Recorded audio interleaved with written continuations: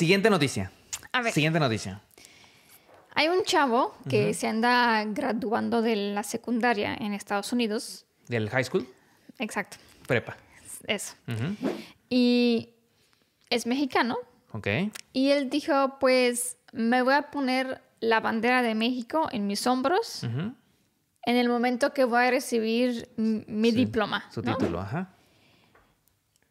Y la, Universidad o la escuela, la, la prepa. ajá. universidad, ajá, el director o La escuela. la escuela, decidió no darle el diploma ya que dicen que no, no está Como que con el código, de vestimenta Rompe el código de adecuado. vestimenta. Ajá. ¿Qué opinas? Ay, a ver. no, es que, es que hay. es- esto está para debatir, ¿eh? A ver, Esto está para debatir. A ver, ¿qué te gustan los Mira. debates? mientras. Mientras no le den el, el- el diploma, me imagino que no se lo dieron en ese momento, ¿no? O sea, Sí, que igual claro. ya después, Sí. no en la ceremonia, se lo igual se lo entregan, ¿no? Pues yo creo que sí.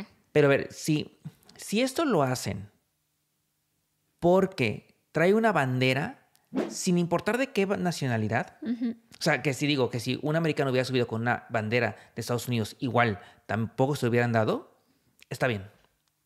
O sea, ¿qué quiero decir? Que está bien si es parte de, de sus estrictos códigos de la escuela y de vestimenta y que dicen, es que tiene que ser con tu corbata y con tu saco y ya Tú- está. Túnica y esa cosa de. Claro, si el problema fue de que porque era una bandera de México y porque era mexicano, bueno, ahí eh, te metes en otro tema, Sí, sí. totalmente terrible. Donde no vas a poder salir. no vas a poder salir y, y ahí sí creo que está totalmente mal porque no, entonces el tema no es un código de vestimenta, el tema ya es ahí otra Era cosa. una excusa, pues sí. es ahí Sí.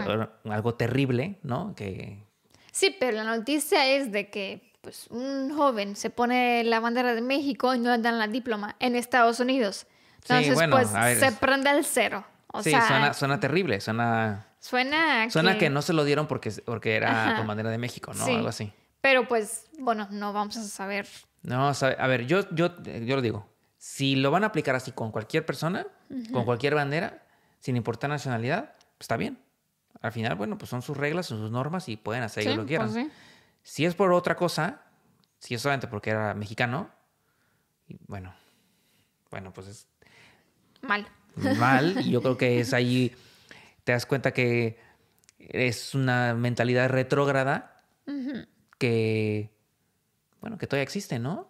Sí. que sí. todavía existe y que, y que pues, está mal. Pero poco a poco se anda cambiando, ¿no? que en que de hecho, esto viene con una siguiente noticia, Exacto, ¿no? sí. Que es casi igu- igualita, sí. que ah, dice que en Uruguay hay un restaurante, Un café. un café, una cafetería, sí. donde decían, aquí no aceptamos mexicanos ni perros, ¿no? A ver, esto, ¿quién, quién sabe si sea real? No, sí es de real, pero a ver, si tú lees ese cartel, no, o sea, dice el nombre del café, dice cuánto te cuesta un café capuchino americano, shalala, y de abajo dice de que no están permitidos los mexicanos y los perros. Y entonces, pues, cuestión de tiempo para que alguien suba una foto a las redes sociales y de allí no te vas a salir, no hay No, forma. no, sí, no, no, no. A ver, ¿está mal? ¿Está mal? O a ver, por, donde, por- por donde sea está mal. no, a ver, voy a decir cuál es como lo, lo que ha dicho el café. Ah, o sea, contesta y dice, sí, a ver. sí, pues, por dilo. supuesto. Porque pues se hizo polémica en, en- en Twitter y en todas las redes sociales. Y entonces, pues, hay una ley antidiscriminación en, en, en Uruguay. Entonces se fue a ese departamento con el café para ver, ¿Qué para pasó? ¿Qué investigar show? qué, qué está pasando. Y ellos dijeron, no, o sea, evidentemente, pues no, no discriminamos. A nadie le preguntamos de, oye, ¿eres, me- eres mexicano? Pues no te sirvo. O sea, no, dice no. Dice que es una frase de una película que se llama, aquí lo tengo apuntado, ¿eh? Ah. Los ocho, los ocho más odiados, que es el de, dire- director de cine de Quentin Ajá, sí, Tarantino. Tarantino, ajá. Y dice que esa es la frase, pero dice, o sea, evidentemente nunca es literal, es más bien, dice, de hecho dice, les recomiendo que vean esa película. Dice, pero no es literal la frase, o sea, no es. Ok. O sea, A ver, escuchando esto, digo, quiero ver la película. O sea, primero, quiero ver la película.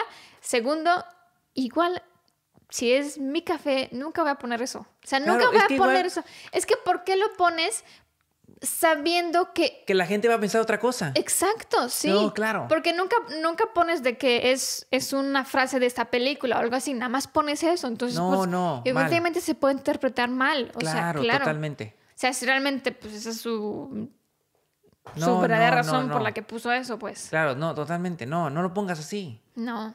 No, o sea, por más que te guste eh, Tarantino, por más que te guste la película, no, no lo pongas. Sí. No, no, no, sí. A ver, ¿Tú viste esa peli? no. Ah, pues hay que verla, hay que ¿no? verla, hay que verla, sí, pero no. Uf. Oye, sí, no, a ver, está. mm, Es una mala interpretación, ¿no? Es un malentendido. Pero te puedes evitar la polémica. Sí, ¿no? Mejor. ¿Te puedes evitar la polémica? Mejor. Pues sí.